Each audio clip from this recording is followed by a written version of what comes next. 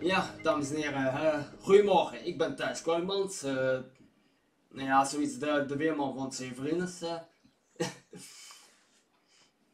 en um, ja, het weer van vorige week was ook wel redelijk goed. afgelopen zaterdag bijvoorbeeld was het best wel goed weer, met af en toe zonneschijn en blauwe lucht, een enkel buitje. En, en die zondag was echt een, een natte bedoeling, het was echt een natte dag in Veldhoven. En, ja, voor volgende week verwacht ik ook nog wel wat zonnig weer. Maar die week erop denk ik dat ik toch weer een enkel buitje kan verwachten. Met meer regen, misschien meer buien. Maar ja, misschien ja.